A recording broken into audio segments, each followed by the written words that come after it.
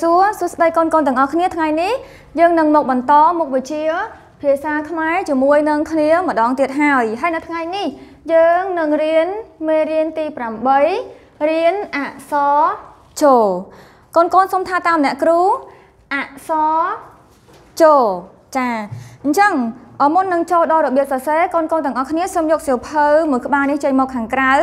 រួចហើយកូនកូនសូមបើកទៅទំព័រទី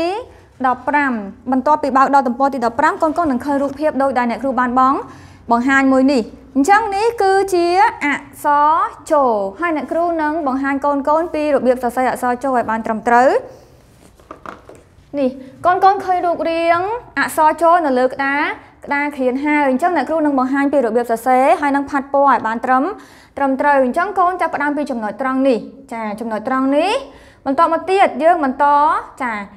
អញ្ចេះហើយអញ្ចេះទៀតហើយទាញទៅខាង ខាងលើវិញបន្តមកទៀតយើងចាប់ផ្ដើមពីចំណុចត្រង់នេះម្ដងទៀតហើយទាញដោយដែលអ្នកគ្រូបានបង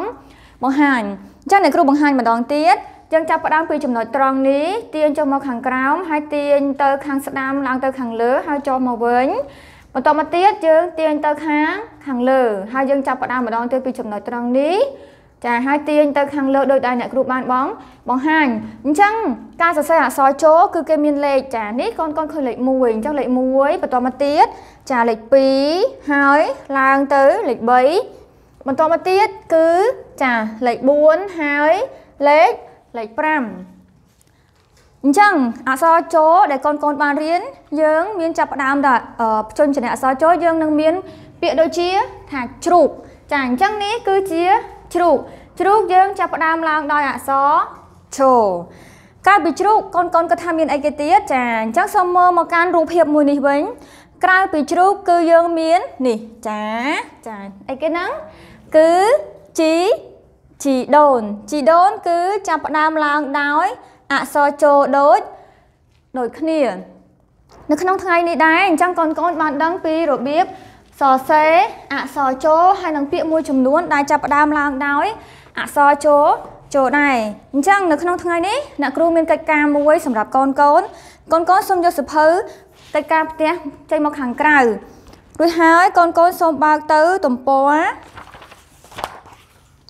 ទី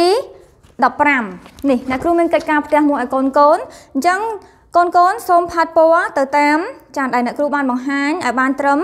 ត្រឹមត្រូវគឺផាត់ពណ៌ពីអញ្ចេះអញ្ចេះអញ្ចេះហើយឡើងទៅខាងលើរួចហើយនេះគេហៅថា